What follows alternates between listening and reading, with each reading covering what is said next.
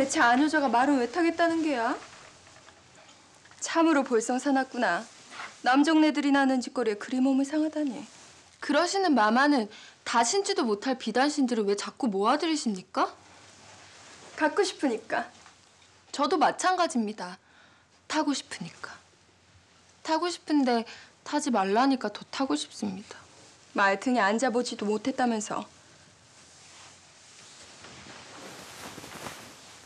앉긴 했습니다. 잠시지만. 그리 혼쭐이 나고도. 공주마마, 다시 강론에 드실 시각입니다. 세령 아가씨도 여종 침반에 드셔야죠. 강론 강론. 따분하게 그지 없구나. 나안갈 곳이야. 공주마마 그러다 주상전하께서 아시는 날에 아바마마께서 나를 어쩌실 수 있는 분이더냐.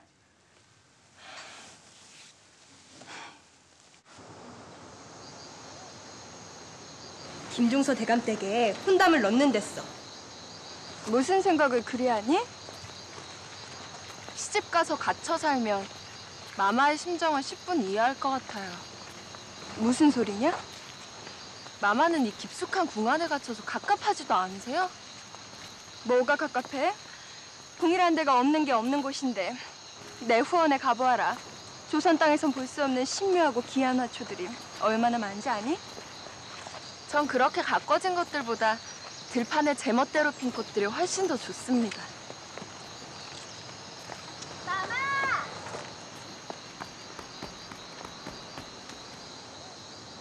어떤 분인지 알아냈습니다. 아직도 들어올 자가 남았다더냐? 직강 김승이랍니다. 김승유? 왜? 우상대감댁 막내 아들 말입니다. 우상대감댁 막내? 우상댁의 막내 자제 김승유.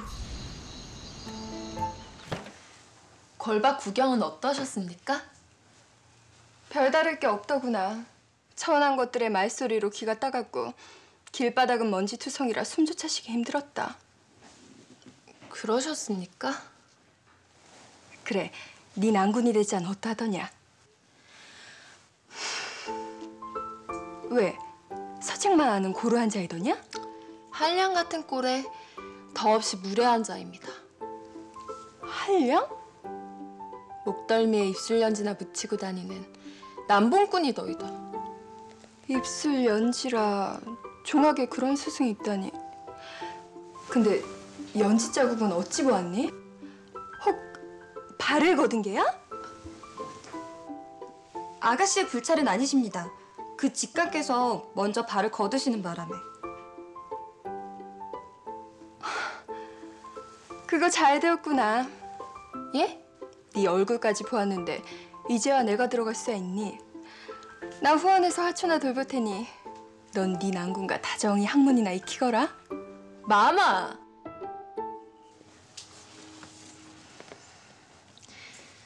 제가 꼭 들어가야겠지요? 네가 자초한 일 아니더냐.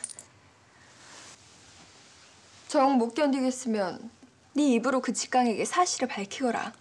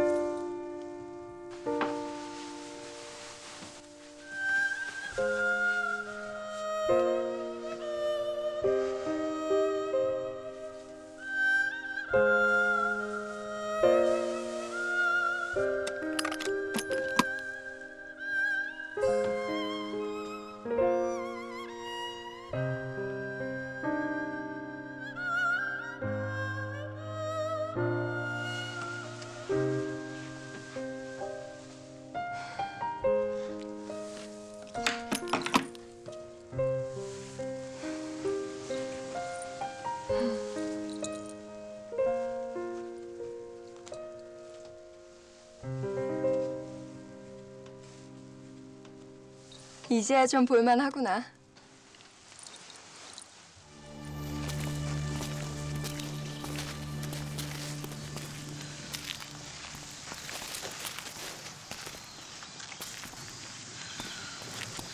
깜짝 놀랐습니다. 왜 그리 위태로운 장난을 하십니까? 위태롭기로 치자면 너 하나는 한 배를 탄 사이 아니냐. 네가 공주 노릇을 했는데 나라고 궁녀 노릇을 못할까? 어찌 들어오신 겁니까?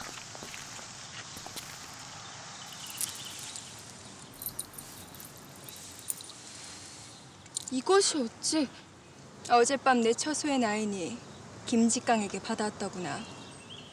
이걸 전하겠다고 다시 왔었단 말입니까? 사내 곁에서 태연이 잠까지 자고 황망이 자취를 감춘 그 여인이 너인 게냐? 예? 아, 우연히 걸 밖에서 만난 일을 가지고 장부가 되어서 어찌 과장이 심한지 더 가깝게 들리는구나. 가깝긴요. 종일 사내는 어떻고 아녀자는 어떻고로 따지는 고루한 자인걸요? 근데 참 별일입니다. 어제는 다친 제 발목에 약짐을 올려놓질 않나.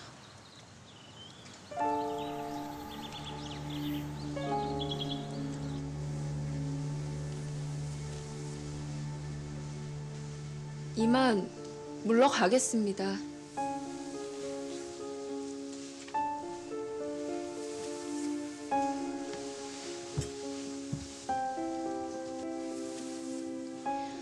참, 부마간택을 한다 들었습니다. 감축드리옵니다. 고맙다.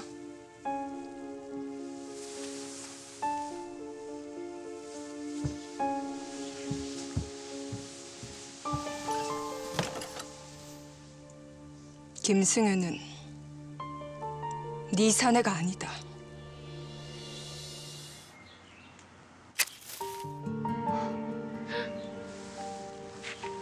일이 성한 것을 조심해서 잘하십시오, 마마.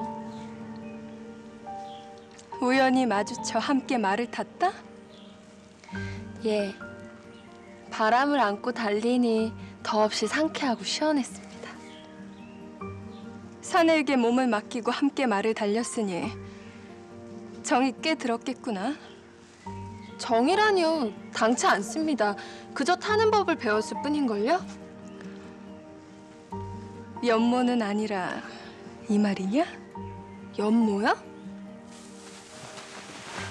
네 마음은 어떤 것이냐? 연모는 아닌 듯합니다.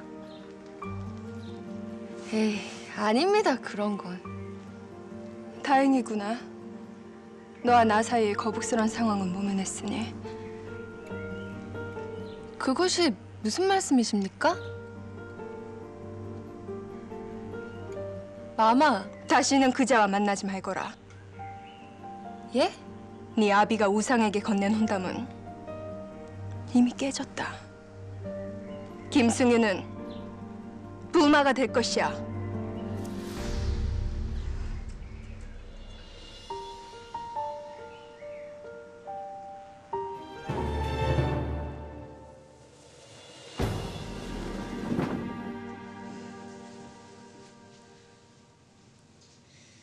이러려고 저를 부르신 것입니까?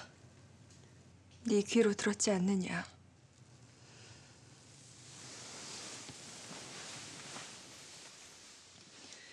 불어 그리하지 않으셨어도 그분께 다른 마음은 없었습니다. 사죄할 기회를 얻고자 했을 뿐. 사죄가 아니라 가까워질 기회로 삼았겠지. 마마, 내게 그가 필요한 건 연정 따위에 배부른 이유가 아니다. 호시탐탐 옥자를 노리는 네 아비로부터 세자와 나를 지키고자 함이야. 옥자를 노리다니 그게 무슨 뜻입니까? 제 아버지가 조카인 마마와 세자 저하를 해하기라도 한다는 말씀이십니까? 너와 나만 몰랐을 뿐. 온 세상이 다 아는 얘기다. 제 아버님은 그런 분이 아니십니다. 정 못 믿겠다면 직접 물어보아라. 이리 차가운 분이셨습니까?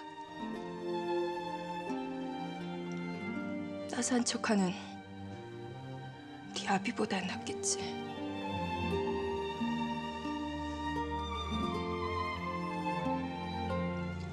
스승님께서 저 때문에 누명을 쓰고 곤욕을 치르고 계십니다.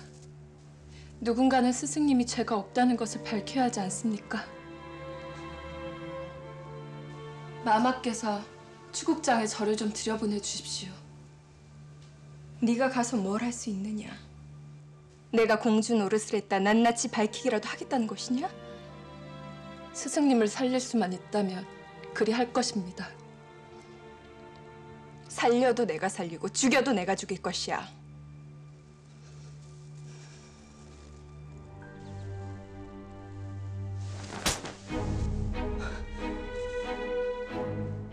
마마, 내 꼴을 구경하러 왔느냐? 내 감히 날 조롱하러 왔느냐 이 말이다. 내심이 이렇게 되길 바랬겠지.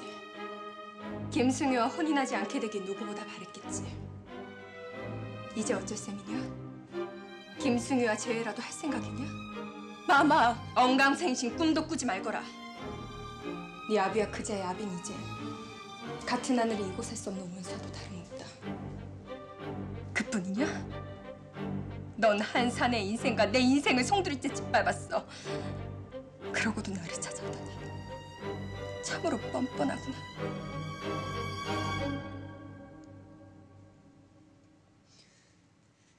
저는 그저 공주 마마의 길례를 경화드리고 싶었습니다. 경아? 지금 네 눈엔 내가 경아를 받을 만큼 기꺼워 보이느냐?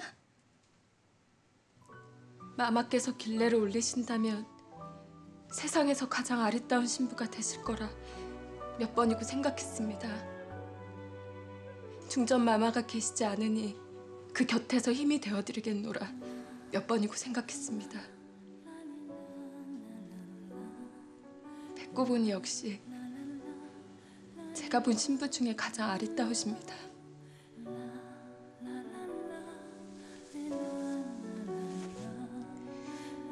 용서를 비는 일조차 용서하기 힘드실 테니 이만 물러가겠습니다.